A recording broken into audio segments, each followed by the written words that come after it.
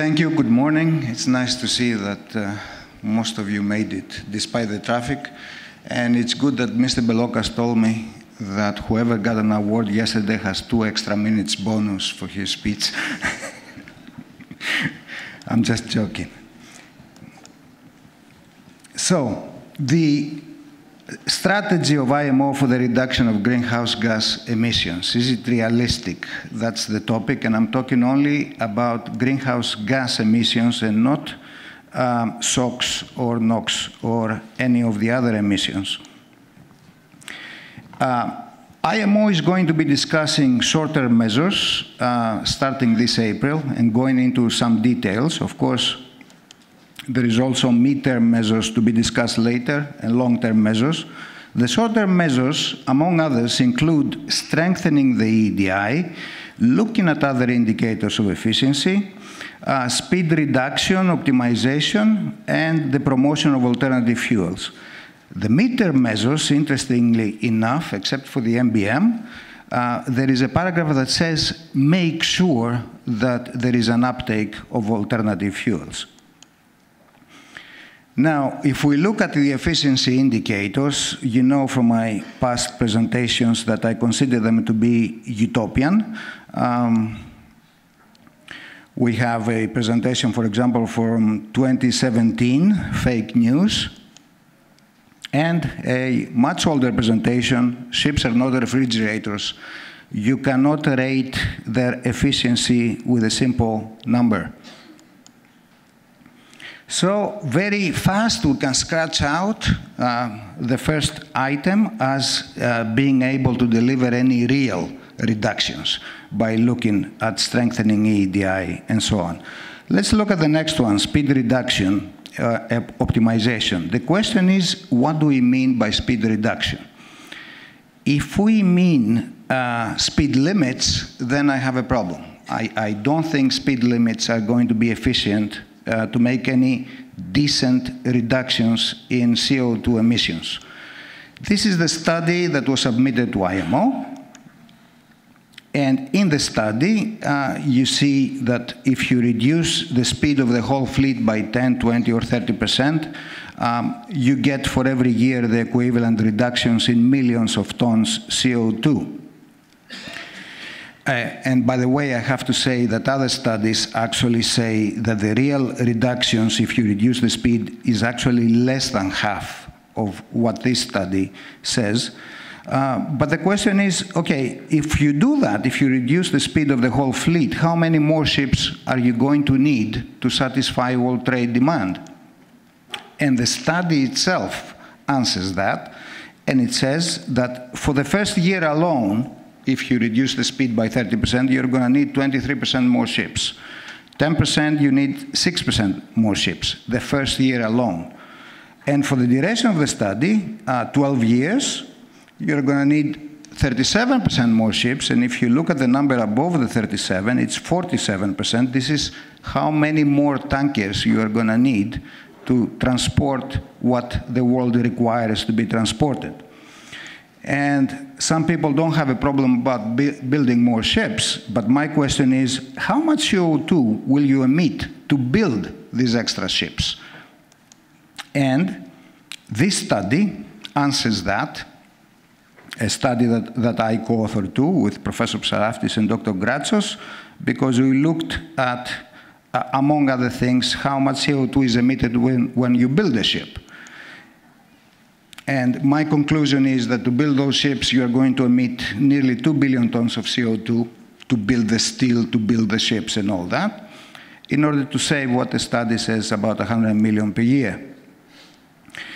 In addition, if you apply speed limits, you have a host of other problems. Uh, let's say only as an example, speed limits are not fair to efficient ships. It's not fair to put the same limit to a ship that has half the consumption at that speed that another ship of, of older design. So on the issue of speed reduction optimization, speed optimization has potential, but I don't have time to talk about it. So I would just scratch out speed limits. No speed limits. Speed optimization is okay for me. Now, alternative fuels. Before we look at alternative fuels, I want to take a look at global warming a little bit. That's the temperature of the atmosphere since 500 million years ago, since the birth of Jesus Christ, and about the last century. So undeniably, there is a rise in temperature. And my question is, what causes it? And here is the answer from United Nations IPCC. The red stuff causes it. CO2, methane, and so on. The blue stuff is actually cooling the atmosphere. And it says there it's aerosols. What are aerosols? Aerosols, ladies and gentlemen, are SOx and NOx. They cool the atmosphere. And that's a diagram of SOx in the atmosphere since the United States applied the Clean Air Act, and soon after Europe and other countries followed. And that's uh, uh, a graph of the temperature of the last century. And you will see that there is a coincidence in the year 1970, as SOx came down, um, temperature goes up for the atmosphere. Is that a coincidence? Now, MIT doesn't think it's a coincidence. MIT says a forthcoming UN regulation, they're talking about IMO, will speed up, may speed up climate change. Ships have a net cooling effect on the planet. The cooling effect is about 0.25 degrees C, and that for somebody who's trying to stay below 2 degrees C, that's a big helping hand, which we are about to take it away with the 2020 fuels. So let's look at alternative fuels. That's what you get when you Google alternative fuels. Let's see what the reality is. I underline natural gas because I consider it the mother of all alternative fuels. And of course, LNG, you get LNG when you cool down natural gas and you liquefy it and, and you clean it. And for every process, you need to put energy in and therefore CO2 out. Just the liquefaction part alone, um, you emit 0.4 kilogram CO2 for every kilogram of liquid LNG you get from natural gas.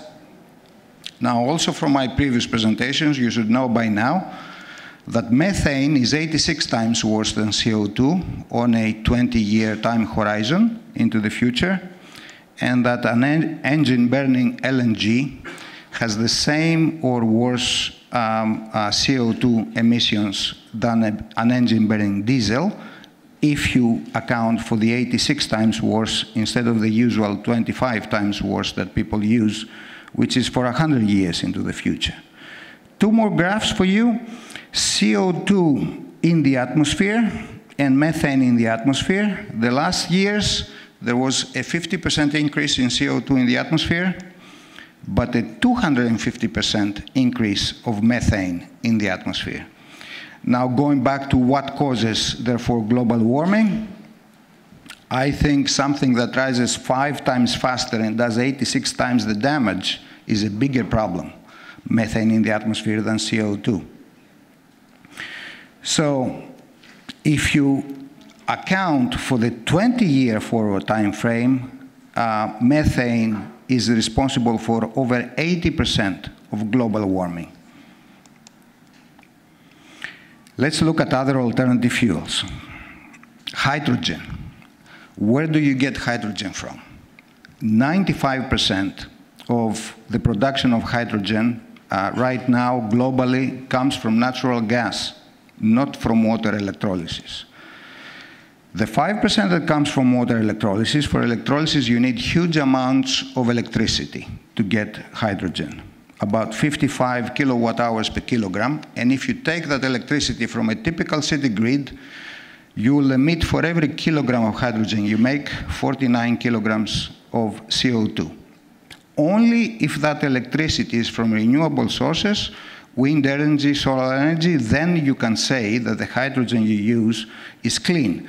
So when I hear that my ship is green because it uses hydrogen, my first question is, where did you get the hydrogen from? Methanol. Methanol comes also from natural gas through a very carbon intensive process called methane steam reforming. For every kilogram of methanol uh, that you get, you emit 9 to 12 kilograms of CO2 in addition to emissions you have from natural gas uh, from the production of natural gas. Ammonia. Ammonia, am I over time? Oh, oh okay.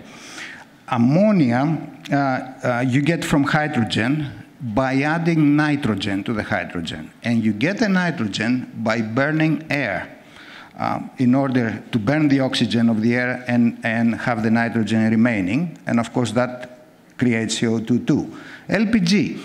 The truth about LPG is that when you burn it on an engine, you indeed emit 10 to 15% less CO2 compared to diesel or fuel. The problem with LPG is it's not sufficient in enough quantities. You cannot make it. It's a byproduct of natural gas production uh, by 1 to 5% and a byproduct of fuel oil refining. Now, biofuels, I would say don't ask. I know you'll ask. It, very shortly, there's a great big debate whether the CO2 you uh, spend in order to make biofuels, whether the balance is there uh, based on the gains. Now, so what do we do? Some people say, don't forget nuclear energy, and we'll be discussing about that. What about coal? Is it dead? a very quick diagram. The blue circles is the coal uh, burning power plants that are being planned by China, India, and everybody else. A huge amount of coal power plants in the process. So, what do we do? Better batteries, synthetic fuel, new technology is what we need, I think, if we're going to make IMO's uh, goals reality. Thank you very much.